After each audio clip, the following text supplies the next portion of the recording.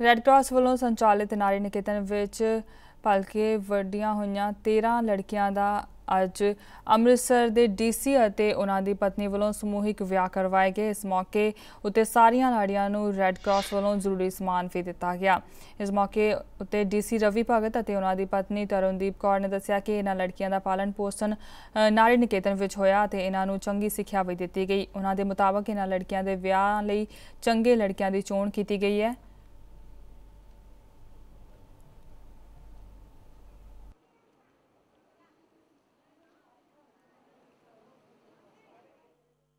ਹਾਂਜੀ, ਅੱਜ ਸ਼੍ਰੀ ਹਰਮੰਦਰ ਸਾਹਿਬ ਦੀ ਦੀ ਸ਼ਹਿਰ ਅੰਮ੍ਰਿਤਸਰ ਵਿਖੇ ਜਿਹੜੀ ਪਾਵਨ ਧਰਤੀ ਹੈ, ਉਹਦੇ ਵਿੱਚ ਅਸੀਂ ਇੱਕ ਉਪਰਾਲਾ ਕੀਤਾ ਸੀਗਾ ਕਿ ਰੈੱਡ ਕਰਾਸ ਅੰਮ੍ਰਿਤਸਰ ਸੁਸਾਇਟੀ ਜਿਹੜੀ ਅੰਮ੍ਰਿਤਸਰ ਹੈਗੀ ਹੈ, ਉਹਦੇ ਅੰਡਰ ਚਲਾਏ ਜਾ ਰਹੇ ਨਾਰੀ ਨਿਕੇਤਨ ਦੀਆਂ 13 ਬੱਚੀਆਂ ਦਾ ਅੱਜ ਅਸੀਂ ਸਮੂਹਿਕ ਵਿਵਾਹ ਕਰ ਰਹੇ ਹਾਂ ਜੀ।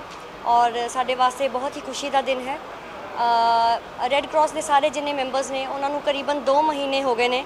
ਦਿਨ ਰਾਤ ਉਹ ਇਸ ਉਪਰਾਲੇ 'ਚ ਲੱਗੇ ਹੋਏ ਨੇ ਕਿ ਇਹ ਜਿਹੜਾ 13 ਬੱਚੀਆਂ ਨੇ, ਜਿਨ੍ਹਾਂ ਦਾ ਆਪਣਾ ਕੋਈ ਪਰਿਵਾਰ ਨਹੀਂ ਔਰ ਜਿਨ੍ਹਾਂ ਦੇ ਨਾਂ ਤੇ, ਆਪਣੇ ਨਾਂ ਤੇ ਜਿਵੇਂ ਦੋ ਸੂਟ ਵੀ ਉਹਨਾਂ ਕੋਲ ਨਹੀਂ, ਉਹਨਾਂ ਨੂੰ ਅੱਜ ਇੱਕ ਅਸੀਂ ਇੱਕ ਅੱਛੀ ਸੈਂਡ ਆਫ ਇੱਕ ਅੱਛੀ ਵਿਦਾਈ ਜਿਵੇਂ ਕਿ ਸਾਡੀਆਂ ਧੀਆਂ ਭੈਣਾਂ ਨੂੰ ਮਿਲਦੀ ਹੈ। ਬਿਲਕੁਲ ਇੱਕ ਘਰੇਲੂ ਫੰਕਸ਼ਨ ਕਰਕੇ ਅਸੀਂ ਉਹਨਾਂ ਨੂੰ ਆਪਣੇ ਘਰੋਂ ਘਰੀ ਅੱਜ ਵਿਦਾ ਕਰ ਰਹੇ ਹਾਂ। ਗੁਰੂ ਕੀ ਨਗਰੀ ਦੇ ਵਿੱਚ ਰੈੱਡ ਕਰਾਸ ਤੇ ਇਹਨਾਂ ਦੇ ਪੈਟਰਨਸ ਮੈਂਬਰਸ ਵੱਲੋਂ ਇੱਕ ਬਹੁਤ ਵੱਡਾ ਉਪਰਾਲਾ ਕੀਤਾ ਗਿਆ।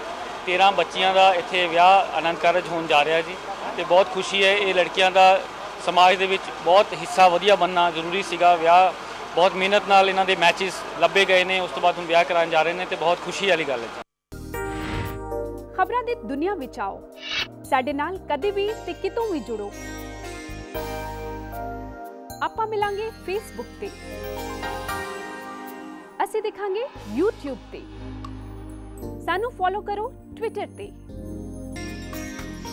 ਖਬਰਾਂ ਨਾਲ ਜੁੜੇ ਰਹੋ ਦਿਨ ਰਾਤ।